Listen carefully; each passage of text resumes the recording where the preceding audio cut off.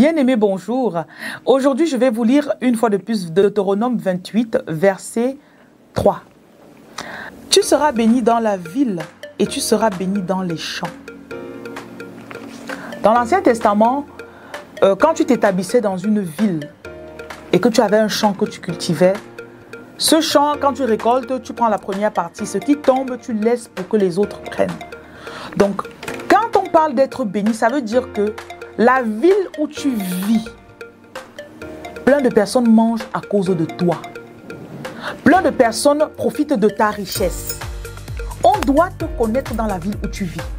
Pas seulement parce que tu as fait des problèmes, pas parce que tu t'es marié avec euh, tel député. Non, parce que tu es une bénédiction pour les personnes qui sont dans cette ville. Cette ville doit respirer le bonheur à cause de toi. Donc, vous devez comprendre aujourd'hui que il ne s'agit pas seulement pour vous d'être à l'aise, mais pour la ville où vous vivez d'être béni à cause de vous. Donc, répétez avec moi aujourd'hui, je suis béni dans la ville de Douala, de Paris, de New York, et cette ville est bénie à cause de moi. Voilà. Merci.